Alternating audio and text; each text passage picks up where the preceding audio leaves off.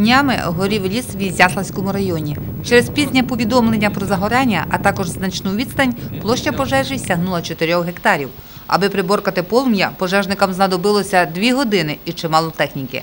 Причина виникнення пожежі – необережне поводження з вогнем. Винуватця поки що не встановлено. А в Хмельницькому районі, поблизу села Велика Колибань, знову горів торф. Підступність такої пожежі ще й у тому, що поклади торфу сягають 10-метрової глибини, тому його горіння може бути непомітним впродовж тривалого часу. І такі підземні пожежі іноді навіть призводять до провалу в ґрунт людей та техніки. Загалом на Хмельниччині за півроку сталася рекордна кількість пожеж, звітують рятувальники. Особливо, що стосується кількості загорянь стерні. 99 випадків, значить, всіх випадків пожеж, значить, це є навмисний підпал.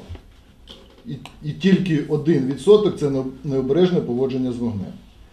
І всі голови селищних рад, і всі керівники підприємств, агропризес добре про це знають. Офіційно 24 пожежі в стерні.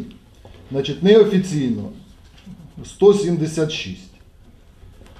Відповідно площу, значить, не 144 гектари, а можете її помножити на 20. І це як мінімум.